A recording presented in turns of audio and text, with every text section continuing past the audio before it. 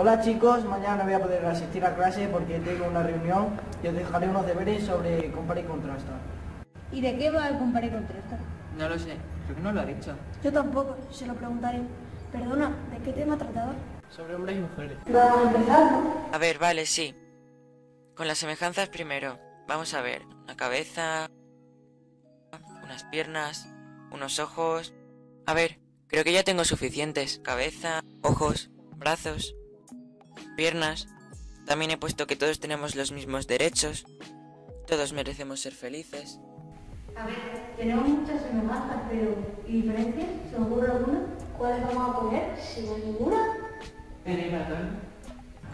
Os he hecho hacer este compara y contrasta para que veáis que entre hombres y mujeres no hay diferencia. Seremos las puertas a la desigualdad y abramos las ventanas a un mundo mejor.